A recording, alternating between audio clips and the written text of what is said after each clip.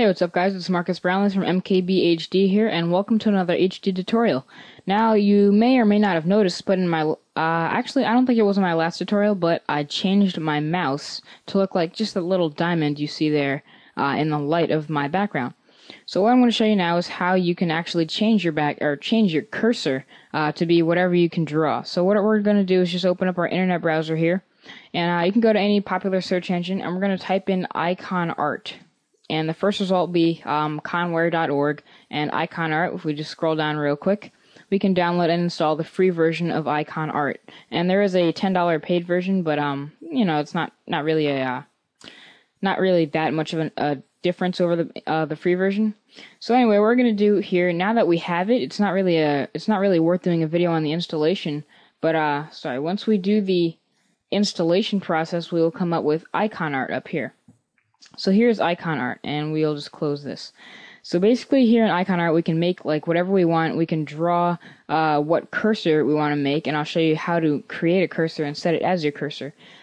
So you can see right now mine's a dot. If we just uh, want to make ours a circle and with a plus sign in it, and this will be our, that will be it. It'll be a basketball with a little pointer thing. I don't know whatever you want to make it. So once you made your cursor and you want to actually set that as your cursor, we're going to go to, well, first of all, we have to save it as a hotspot. So, um, like in a regular arrow cursor, the tip of the arrow is what you use to click.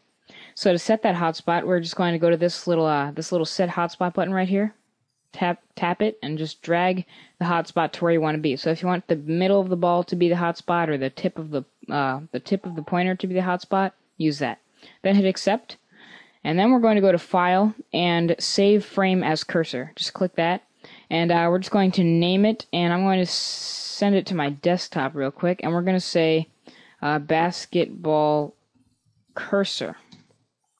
So we've named it and we've saved it to the desktop. There it goes. And uh, now that we've done that, we can exit out and we're going to go ahead and set it as our actual cursor.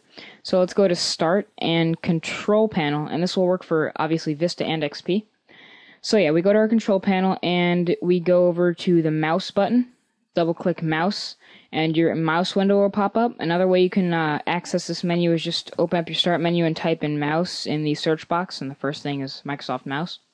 So then we're going to click pointers, and uh, for your normal select pointer or whatever pointer you want this to be, just hit the browse button and choose your file, the desktop.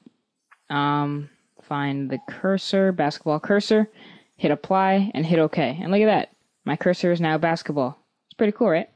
So yeah, it works 100%, no spyware, and um, no adware, nothing. It's just perfect, perfectly fine. So uh, yeah, I will use this. Uh, I changed my cursor. I always wanted a dot cursor, and I was looking up ways to actually use a dot cursor or create one, and uh, that that worked for me. So I hope this was a helpful tutorial. If you do have any other tutorial ideas or requests, please subscribe and excuse me, subscribe and send me a message, and I'll try to get to uh, a request video for you. I do do requests also. Anyway, that's uh, that's it for this tutorial. So thanks for watching, and please subscribe. Peace.